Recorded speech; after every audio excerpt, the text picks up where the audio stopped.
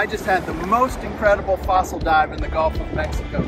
Come along with me as I find these ancient fossilized Columbian mammoth teeth. All right, I'm with my good friend Justin Boorstein. We are here to hunt for Megs today. I always do good with this guy. He is a great dive partner, a great friend, and we are stoked to get on some teeth. But I bet something cool is gonna be found today, and I am excited to get out there.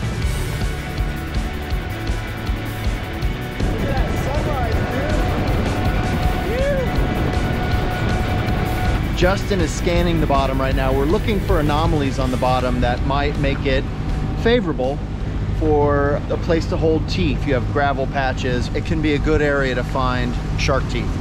We spend a lot of time cruising around, a lot of time exploring and not finding. When you get on an area that hasn't been hit or has been freshly turned over by a storm, it can be so good and that's what we're hoping for a big part of each trip that we do whether we're in a river or whether we're in the ocean a lot of it's exploring trial and error maybe a six inch meg maybe a six inch meg fingers crossed we don't find many in Venice. Justin and I have picked our spot. We haven't been to this location. We are excited. Uh, the water's still a little bit chilly, but the viz looks really good which is always amazing because we are used to diving in very dark water. So we're about to drop down. We're gonna scout and hopefully come back to the boat with some large teeth. Justin is using some serious gear, but at the end of the day, you also have to know what you're doing. And he has both gear and he knows what he's doing. And a little bit of luck. And a little bit of luck and a lot of skill. All right, I better get suited up. See you down there.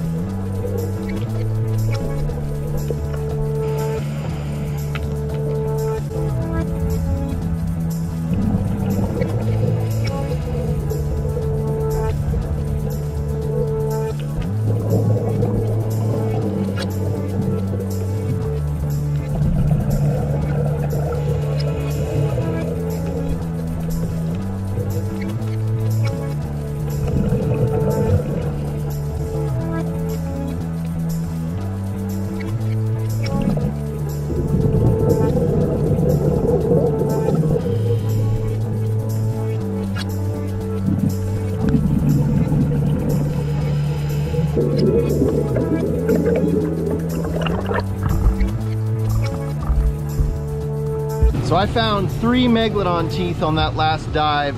Justin didn't find any. So needless to say, we're moving. That's not a very good spot. It was beautiful, but there should be a lot more fossils there. So that's part of the game. Keep exploring.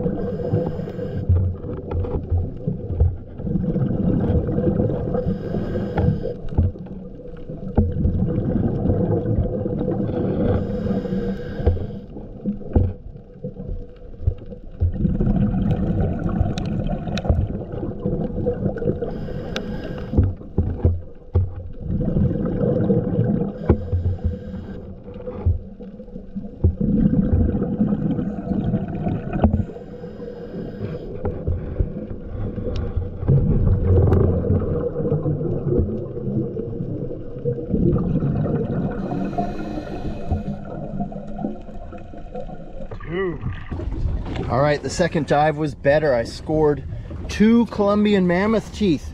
These things are a lot heavier than they look. This is probably 11 or 12 pounds. This is an Ice Age fossil uh, from the Pleistocene epoch of Florida. And I'll tell you what, when this cleans up, this is gonna be a beautiful tooth. And then I got this guy pretty close by. Um, another Ice Age fossil, just again, a reminder of, of times past. Not that long ago, this was dry land. You can see what we have now a beautiful Gulf of Mexico. So look at this thing. Roar! I was so stoked to see this. Justin, how'd you do on that dive? Not bad. Some small mags, but nothing amazing. Yeah, I got some small megs too. Nothing killer. These are definitely, this might be my find of the day. This is a big tooth. Um, and I love finding mammoth teeth. So we might stay here and see if we can find a couple more. Where there's one, there's usually two, and where there's two, there's usually a bunch. All right, gonna get back after it.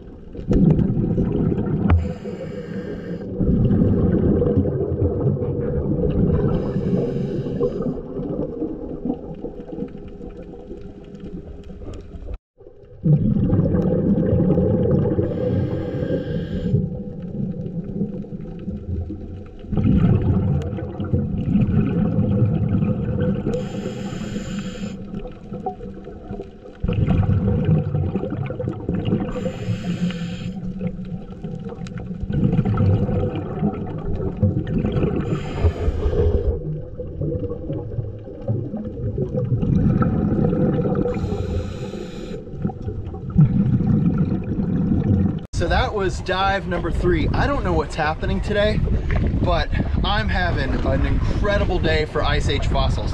This is another Columbian mammoth tooth. This thing probably weighs 15 pounds, but right next to it was yet oh, another biggie. Look at this tooth. Another Columbian mammoth tooth. I am having a very blessed day. These teeth are amazing. Look at that. There's the chewing surface.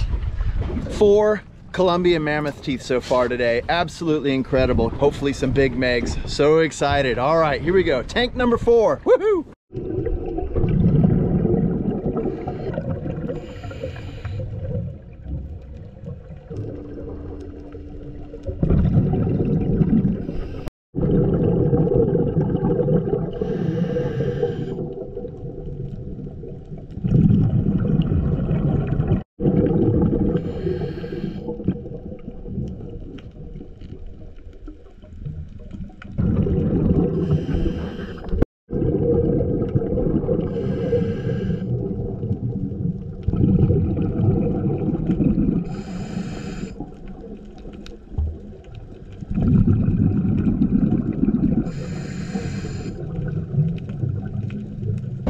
That was an awesome final dive. And what an incredible day of diving. So many cool fossils found.